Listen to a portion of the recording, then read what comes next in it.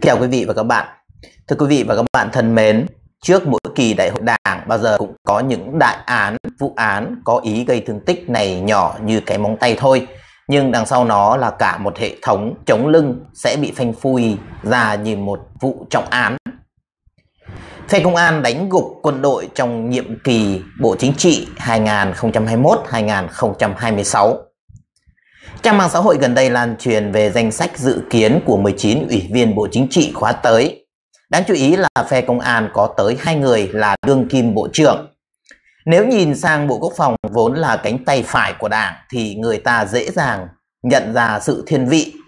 Bởi bộ này chỉ có một thành viên dự kiến sẽ có mặt trong Bộ Chính trị kỳ tới, đó là chủ nhiệm Tổng cục Chính trị Bộ trưởng Quốc phòng Lương Cương. Người dự kiến sẽ là Bộ trưởng Bộ Quốc phòng, còn đương kim Bộ trưởng Quốc phòng hiện nay là Ngô Xuân Lịch dự kiến sẽ về hưu. Như vậy là Nguyễn Phú Trọng có nhiều ưu ái hơn cho phe cánh của bên công an và so với cánh tay phải của mình là quân đội.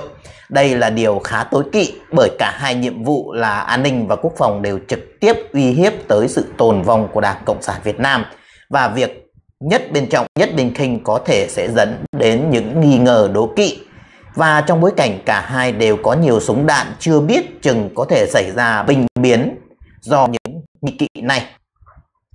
Khi nhìn vào bối cảnh hiện tại và những thành tích mà Bộ Quốc phòng và Bộ Công an lập được, đặc biệt là cho ông Trọng, trong thời gian gần đây thì việc thiên vị cho phe công an cũng là điều dễ hiểu.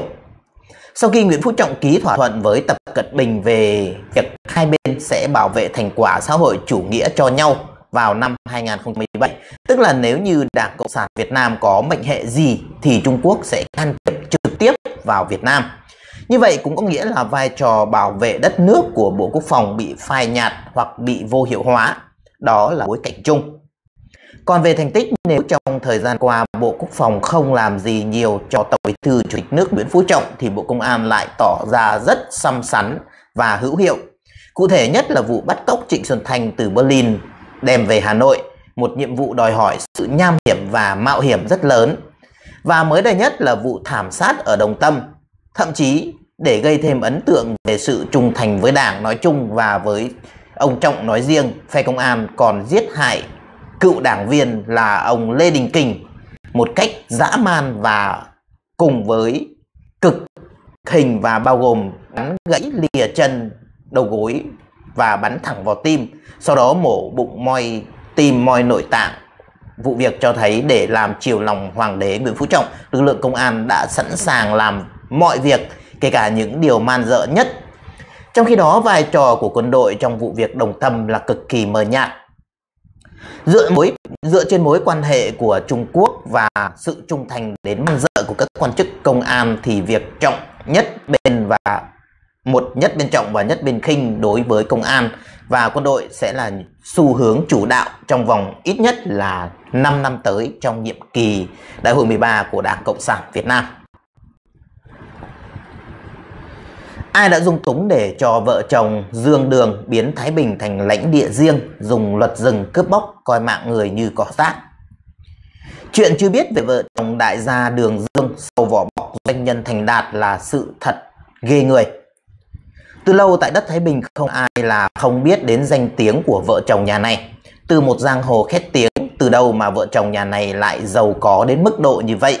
Liên tiếp mở doanh nghiệp bất động sản và cửa hàng bán đồ sách tay, chơi siêu xe, nhà cao cửa rộng, kết giao với hàng loạt ca sĩ, diễn viên cùng thú chơi trội, tiệc tùng hiếm thấy. Điều này khiến mình liên tưởng đến những chiêu trò như trong phim Người phán xử, nhưng tất nhiên là không tới tầm như vậy. Những năm còn thường trú ở Thái Bình, mình cũng chứng kiến rất nhiều núp đằng sau vỏ bọc doanh nhân thành đạt chuyên đi làm từ thiện lại là những sự thật ghê người. Thứ nhất, năm 2015-2016 một số lái xe cho các tổ công ty tổ chức tang lễ và đã phản ánh muốn đưa người chết đi hỏa táng tại Nam Định, Hải Phòng thì tất cả các xe dịch vụ này phải đóng phí nhất định cho đại ca này từ 500 đến 1 triệu một chuyến. Đợt đó mình có ngỏ ý xin được đi cùng chứng kiến sự việc ra sao nhưng phần vì tâm linh, phần vì cái xe họ cũng sợ thế lực nên không ai dám lên tiếng.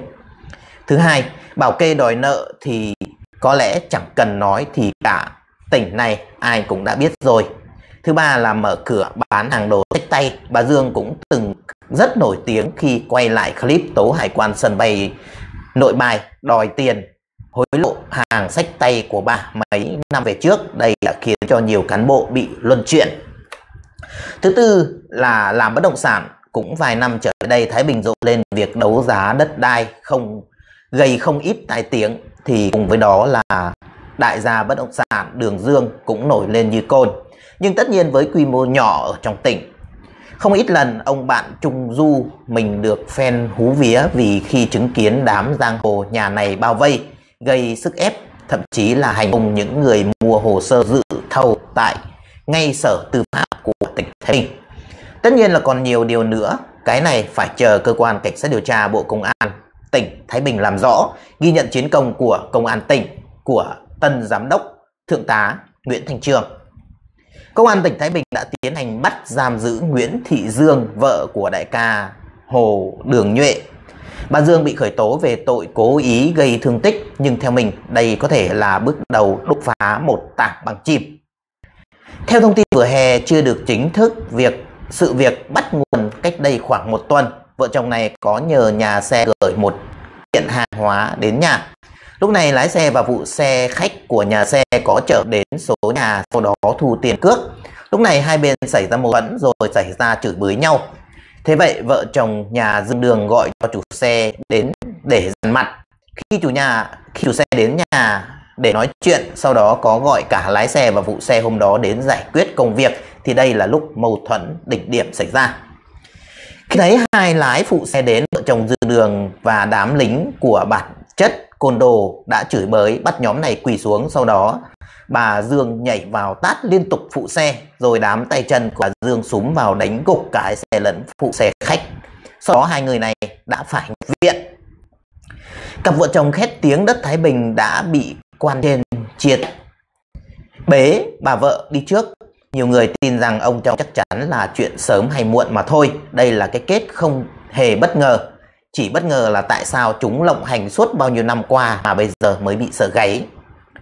Thái Bình từ lâu đã không còn là nơi đáng sống khi xuất hiện bọn giang hồ số má do vợ chồng Dương Đường cầm đầu, bức tử doanh nghiệp bảo kê ổ nhóm, tín dụng đen, hành hung dân lành như cơm bữa, thậm chí là chồng bà Dương Đường từng bị báo pháp luật tố đánh chấn thương phụ nữ ngay tại trụ sở công an phường. Thái Bình từ khi nào mà coi thường luật pháp luật của đất nước đến như vậy và biến thành lãnh địa riêng của nhóm giang hồ tự tung tự tác muốn làm gì thì làm. Từ lâu tại Thái Bình không ai là không biết đến danh tiếng của vợ chồng nhà này. Từ một giang hồ khét tiếng, từ đâu mà vợ chồng nhà này lại giàu có đến như vậy, liên tiếp mở các doanh nghiệp bất động sản và cửa hàng bán đồ sách tay, chơi siêu xe, nhà cao cửa rộng, kết giao với hàng loạt những ca sĩ và những diễn viên nổi tiếng cùng với thú trôi chơi trội mà ít người biết thấy hiếm thấy và ít người ít người được thấy. Thực ra đó là điều mà tiền của bất hợp pháp của vợ chồng xã hội đen này cho thuê nặng lãi cướp bóc hành hung người mà ra núp đằng sau vỏ bọc doanh nhân thành đạt vợ chồng dương đường chuyên đi làm từ thiện để che đậy tội ác ghê người của mình chỉ vì trực tiếp hay gián tiếp chót vướng vào một ổ nhóm tín dụng đen, số má, cuộc sống của nhiều người, nhiều gia đình ở tỉnh Thái Bình đã bị đảo lộn. Một khi đã vay tiền của nhóm xã hội đen do vợ chồng Dương Đường đứng ra cầm đầu, chỉ cần lỡ hẹn một lần và đối tượng đàn em sẽ lập tức bao vây dùng gậy gỗ, dao phay để khống chế, đánh đập dã man nạn nhân cho đến khi người này gục hoàn toàn. Bất tỉnh nhân sự bọn chúng mới bỏ đi Bùi Mạnh Tiến, biệt danh Tiến Trắng, là một trong những đàn em thân cận của Dương Đường, được Dương Đường nhận làm con nuôi, chuyên cho vay nặng lãi, bảo kê, đấu đất, núp bóng công ty bất động sản. Tiến Trắng nhiều lần nhận lệnh của Dương Đường dẫn người cầm đầu, đào kiếm xuống chiếm giữ, đập phá tan hoàng trụ sở của doanh nghiệp vì chưa trả được nợ. Một trong những nạn nhân của Dương Đường là gia đình ông Phạm Văn Lẫm và bà Phạm Thị Quyết, thành phố Thái Bình.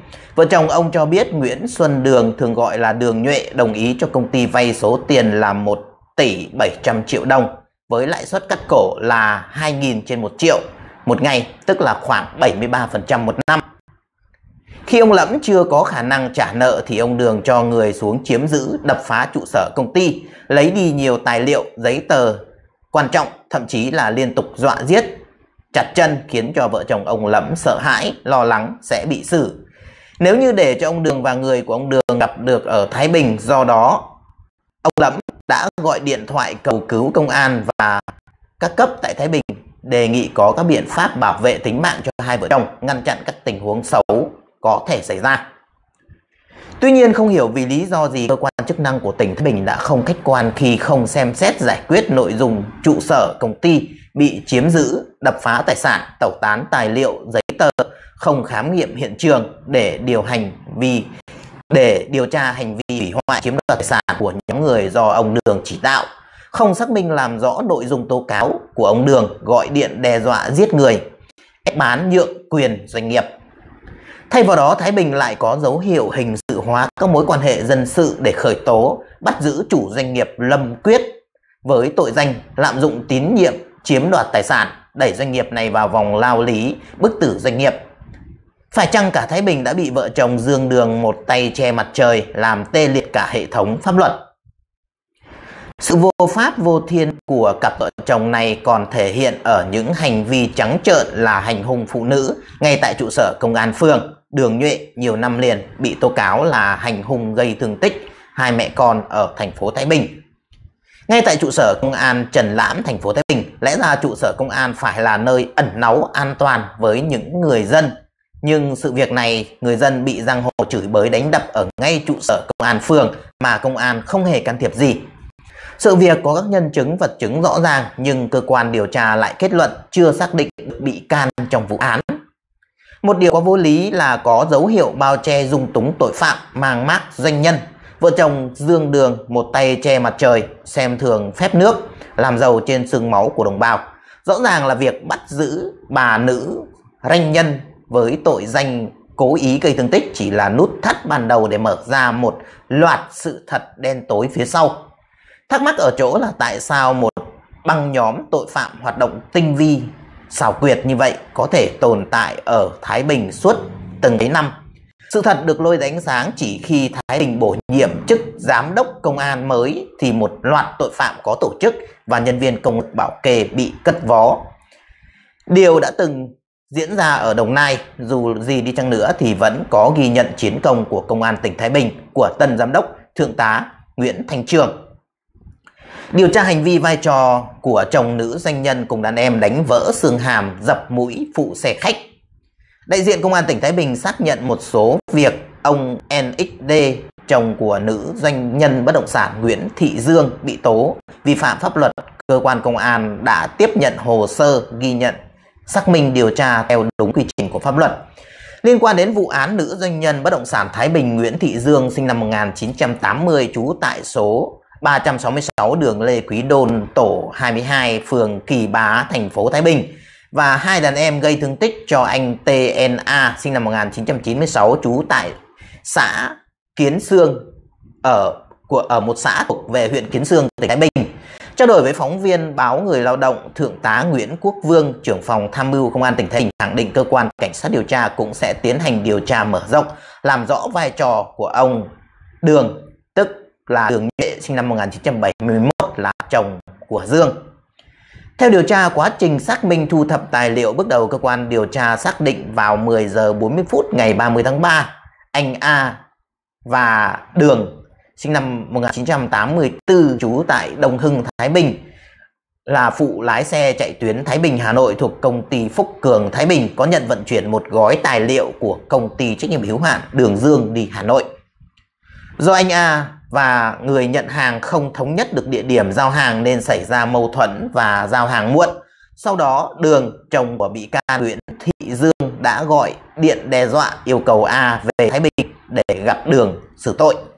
Khoảng 18 giờ 20 phút ngày 30 tháng 3, anh A và người điều hành công ty Phúc Cường là ông Quy sinh năm 1978, trú tại thành phố Thái Bình đến nhà của Đường, cũng là trụ sở của công ty trách nhiệm hữu hạn Đường Dương Tại đây Đường Nhuệ cùng với vợ là Nguyễn Thị Dương đã tra hỏi đe dọa anh A. Sau đó các đối tượng là Nguyễn Thị Dương, Nguyễn Đức Mạnh là lái xe của Dương và Phạm Ngọc Quý đã đánh và gây thương tích đối với anh A. Dương cùng với đàn em đã nhốt đánh nạn nhân A vỡ xương hàm, dập mũi ngay trước mặt chồng của Đường.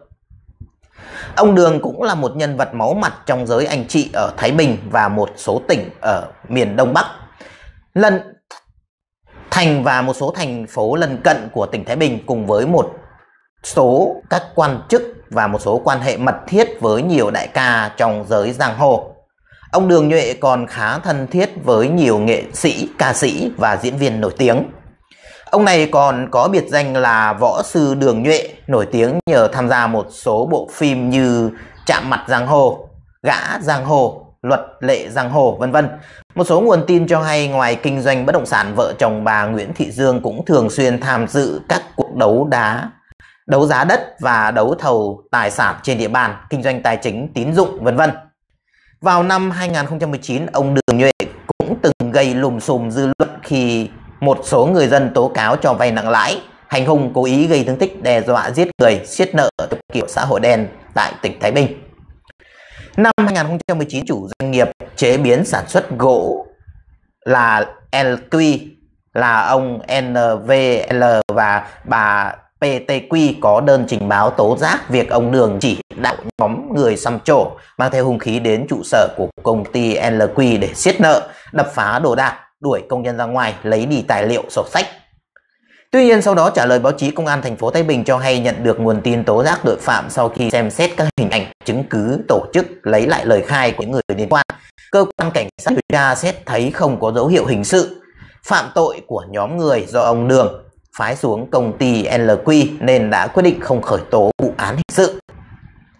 Không những thế, ông Đường Nhuệ còn bị bà DNBTL sinh năm 1964 trú tại thành phố Thái Bình, tố cáo nhận đòi nợ thuê, vô cớ đánh con trai của bà MTG bị thương tích 15% ngay tại phòng tiếp dân, trụ sở công an phường Trần Lãm, thành phố Thái Bình vào năm 2014.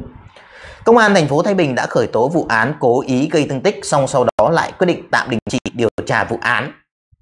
Trong chiều ngày 8 tháng 4 trao đổi với phóng viên báo Người Lao động, Thượng tá Nguyễn Quốc Vương cho hay một số vụ việc cơ quan công an đã tiếp nhận đơn thư ghi nhận xác minh điều tra theo đúng quy định của pháp luật. Hiện cơ quan công an vẫn đang tiến hành điều tra làm rõ.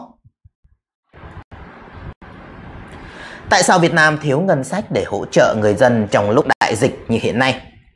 Chiều ngày 24 tháng 3 năm 2020, thành phố Hồ Chí Minh ra công văn số 1049 yêu cầu tạm ngưng hàng loạt loại hình kinh doanh trong vòng một tuần.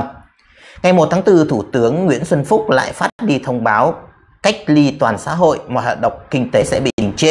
Những người bị ảnh hưởng đầu tiên là tầng lớp lao động, trung lưu và kinh doanh nhỏ lẻ, đóng vốn đóng vai trò xương sống của nền kinh tế Việt Nam.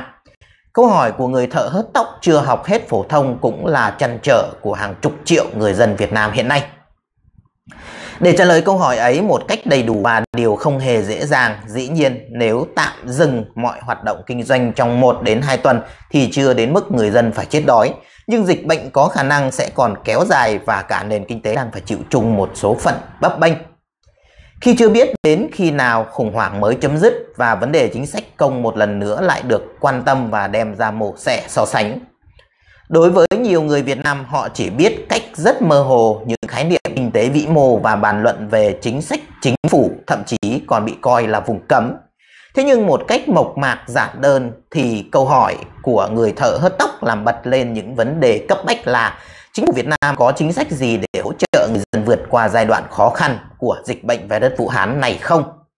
Nhìn vào những khoản trợ cấp xã hội và cứu nguy kinh tế của các tiết các nước tiên tiến tung ra để hỗ trợ người dân nước mình, đặc biệt là người thất nghiệp, người Việt có suy nghĩ gì?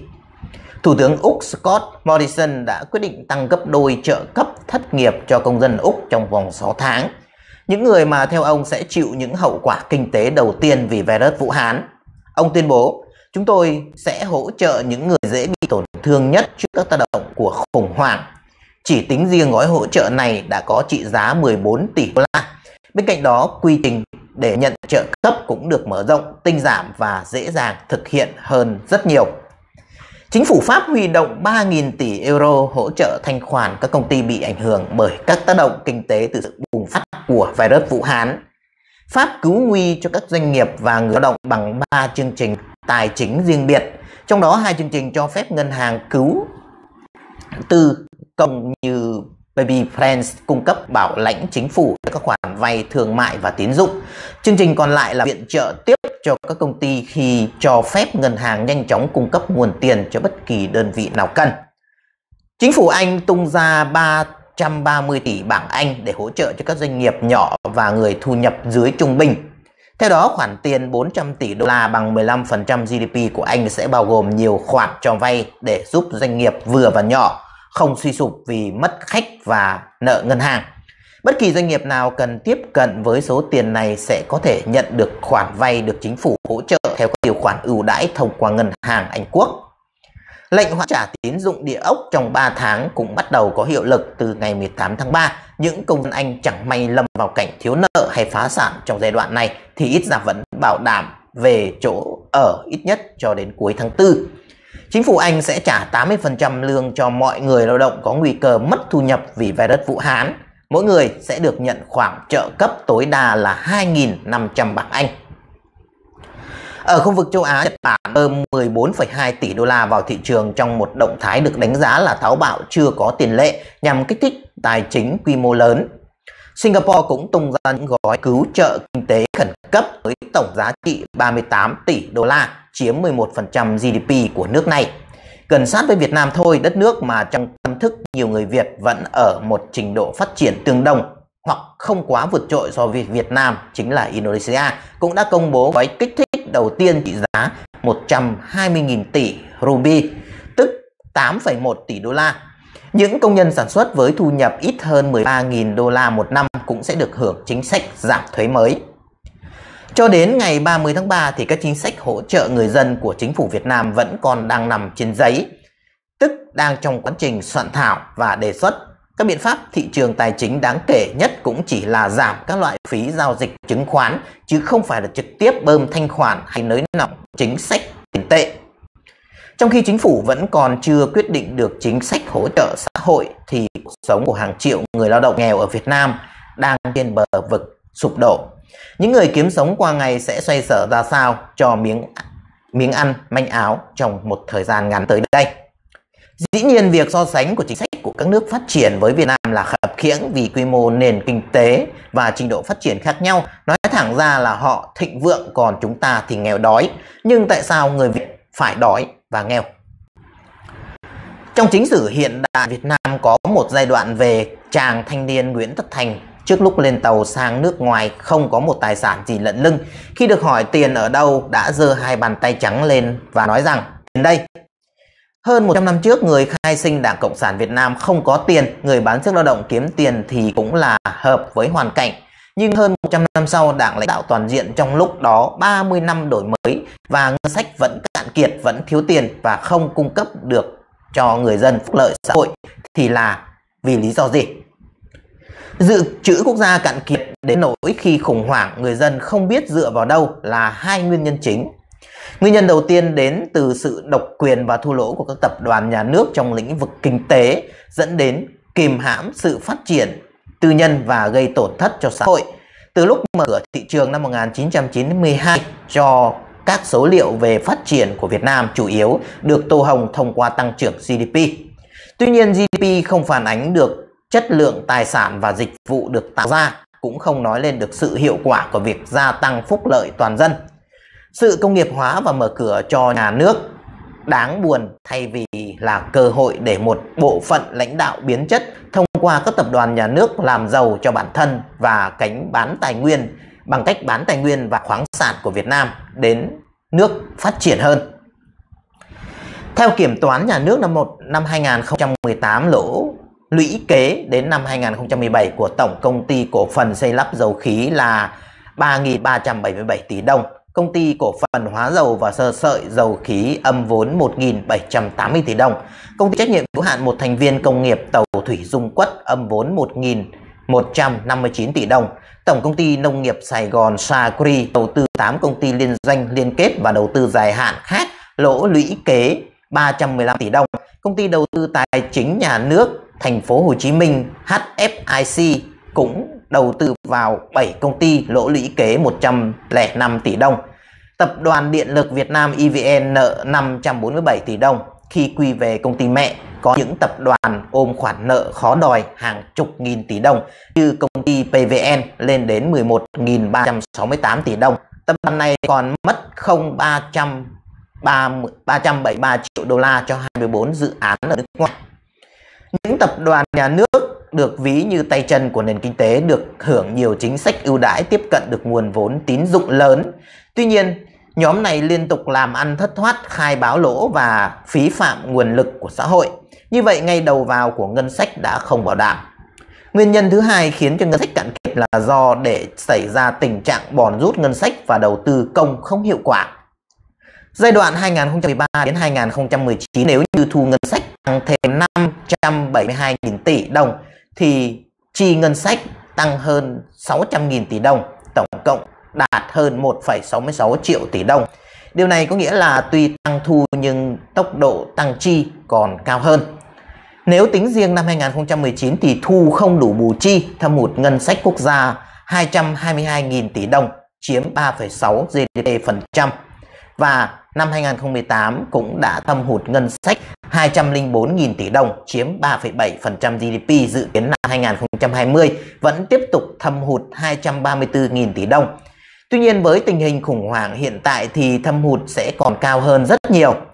Trong khi đó các đại dự án có giá trị hàng chục đến hàng trăm ngàn tỷ đồng liên tục thất bại, không tạo được phúc lợi cho xã hội mà còn gây ra nhiều hệ lụy cho giai đoạn phát triển tiếp theo. Ở ngành giao thông vận tải, đường sắt đô thị thành phố Hồ Chí Minh và đường sắt Cát Linh Hà Đông vẫn đang đắp chiếu, chưa biết chính xác khi nào mới đưa vào hoạt động. Nếu như tuyến metro số 1 rời ngày hoạt động dự kiến đến năm 2021 thì tuyến metro số 2 phải rời đến năm 2026 mà đại diện ban quản lý dự án vẫn phải thừa nhận tiến độ của dự án rất khó đảm bảo. Cát Linh Hà Đông còn thê thảm hơn khi chưa đi vào sử dụng đã xuống cấp và có nguy cơ vứt bỏ. Ở ngành công thương, các đại dự án thua lỗ nổi bật là nhà máy sản xuất đạm Hà Bắc năm 2016 đến 2019 lỗ khoảng 2.700 tỷ đồng. Nhà máy sản xuất đạm Ninh Bình chỉ tính đến năm 2018 lỗ lũy kế gần 5.000 tỷ đồng, vốn chủ sở hữu nhà nước âm 2.600 tỷ đồng. Hàng loạt dự án khác phải đình trệ, tranh chấp hợp đồng và ngừng sản xuất. Cả hai nguyên nhân dẫn đến cạn kiệt ngân sách ở Việt Nam đều có mẫu số chung là cơ chế quản lý yếu kém bởi chính vì cơ chế quản lý lỏng lẻo ở Việt Nam xuất hiện sự vun vén của cải bằng các tổn thất xã hội của các nhóm lợi ích vốn chiếm độc quyền và hưởng nhiều đặc lợi trong lĩnh vực mà họ tham gia. Hệ thống tiền tệ của Việt Nam lại được vận hành thông qua các ngân hàng trực thuộc trung ương. Nguồn vốn vay thì vì thế cũng chỉ có thể được tiếp cận một cách sâu rộng nhất bởi những nhóm quyền lực, chứ không phải là tầng lớp lao động. Những nhóm đặc quyền sử dụng đã sử dụng khả năng tiếp cận tín dụng lớn của họ mà kiểm soát nền kinh tế thông qua những ngành nghề khác nhau.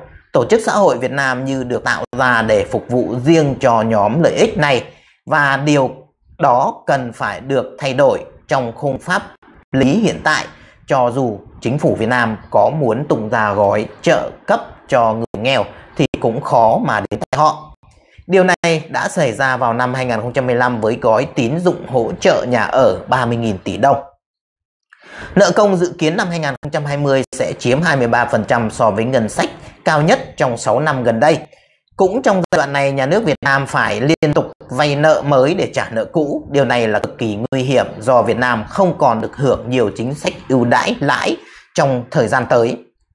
Dịch bệnh lần này làm cho phơi bày những bộ mặt tối trong mô hình vận hành xã hội cũng như nổi bật trong sự thật rằng đất nước đang rất thiếu nội lực. Cho dù Bộ Y tế đã có những nỗ lực lớn trong công tác phòng chống dịch, sự cố gắng đó là không đủ để bù lại những hạn chế về tiềm lực quốc gia. Điều chỉ được vun vén một cách bài bản qua hàng chục năm phát triển. Thực tế cho thấy rằng sự phát triển của Việt Nam trong 30 năm qua đi kèm với việc nới lỏng những định chế cho kinh tế tư nhân và áp dụng nhiều quy luật vận hành căn bản của nền kinh tế thị trường, tức là thay đổi cơ chế quản lý. Thế nhưng đến thời điểm hiện tại cải cách chính trị đã đi sau cải cách kinh tế. 30 năm mở cửa những người lãnh đạo Việt Nam đứng trước bài toán đặt ra ở thời bao cấp, đổi mới hay là chết, dịch bệnh rồi sẽ qua. Điều quan trọng là Việt Nam có đủ dũng cảm để nhìn nhận và khắc phục những điểm yếu của nước nhà. Để có thể đương đầu với những thử thách và khủng hoảng tất yếu trên con đường phát triển, một mô hình nhà nước tiến bộ hơn, qua đó tích lũy và phát huy được sức mạnh quốc gia và vẫn là lời giải vẹn toàn nhất. Việt Nam rồi sẽ tiếp tục đói nghèo hay sẽ trở mình để trở thành thịnh vượng hơn? Đó vẫn chỉ là những câu hỏi và khó có được câu trả lời mà câu trả lời chính là do nhân dân Việt Nam và quyết định cuối cùng vẫn là do người dân Việt Nam có muốn thay đổi cái chế độ cộng sản này hay không để cho Việt Nam tiến bước đi theo con đường tự do dân chủ, đa nguyên đa đảng và tam quyền phân lập thì đất nước mới có thể thay đổi. Tình hình thêm 14 người khỏi bệnh không có bệnh nhân mới. Bản tin sáng ngày 10 tháng 4 cập nhật virus Vũ Hán của Bộ Y tế cho biết sáng nay không ghi nhận thêm bệnh nhân mới. Dự kiến trong hôm nay có thêm 14 bệnh nhân được công bố khỏi bệnh. Theo đó, Bộ Y tế cho biết đến nay Việt Nam ghi nhận 255 bệnh nhân, trong đó có 158 người từ nước ngoài chiếm 62,2%. Hôm nay dự kiến 4 bệnh nhân công bố khỏi bệnh, thêm 14 bệnh nhân gồm có bệnh nhân bệnh ở Bệnh nhiệt đới Trung ương, 10 bệnh nhân Bệnh viện Đa khoa tỉnh Bình Thuận, hai bệnh nhân Bệnh viện Đa khoa Đà Nẵng, một bệnh nhân và Bệnh viện Đa khoa tỉnh Bắc Ninh, một bệnh nhân. Bộ Y tế cũng cho biết phát biểu kết luận phiên họp ngày 9 tháng 4, Thủ tướng Chính phủ đã giao cho Ban chỉ đạo phòng chống dịch bệnh quốc gia Bộ Y tế có nhận định đánh giá sát tình hình báo cáo chính phủ. Thủ tướng Chính phủ xem xét có tiếp tục thực hiện cách ly xã hội sau 15 tháng 4 vào phiên họp kế tiếp. Thủ tướng cũng tiếp tục khuyến cáo công dân ở nước ngoài không về Việt Nam trước ngày 15 tháng 4 trừ trường hợp đặc biệt. Việt Nam tiếp tục kiểm soát các chuyến bay trừ các chuyến chở hàng và bảo hộ công dân được sự cho phép của Thủ tướng, đồng thời hạn chế tối đa bay nội địa. Trừ trường hợp bệnh viện Bạch Mai, một số bệnh viện khác Thủ tướng yêu cầu Bộ Y tế có hướng dẫn kỹ lưỡng việc cách ly nhân viên y tế nếu dịch xảy ra ở quy mô lớn hơn, đảm bảo có đủ nhân viên y tế làm việc. Tính đến 10 tháng 4, Việt Nam ghi nhận 255 bệnh nhân có 142 người trong đó đã khỏi bệnh, xếp thứ 104 trong số sấp xỉ 200 quốc gia vùng lãnh thổ có dịch bệnh virus Vũ Hán. Xin chân thành cảm ơn thời gian theo dõi của quý vị đã dành cho chương trình của chúng tôi đến phút cuối. Để lại những lời bình luận góp ý ở bên dưới video để giúp cho chúng tôi thực hiện chương trình kế tiếp một cách tốt hơn. Hãy bấm vào nút chia sẻ để cho thông tin được lan tỏa đến với nhiều người hơn. Hãy bấm vào nút đăng ký để trở thành thành viên tích cực của kênh. Và đừng quên bấm vào hình quả chuông bên cạnh nút đăng ký để nhận được những thông báo nhanh nhất, sớm nhất về các chương trình của chúng tôi sắp phát hành. Xin chân thành cảm ơn và hẹn gặp lại quý vị và các bạn trong các chương trình kế tiếp của chúng tôi.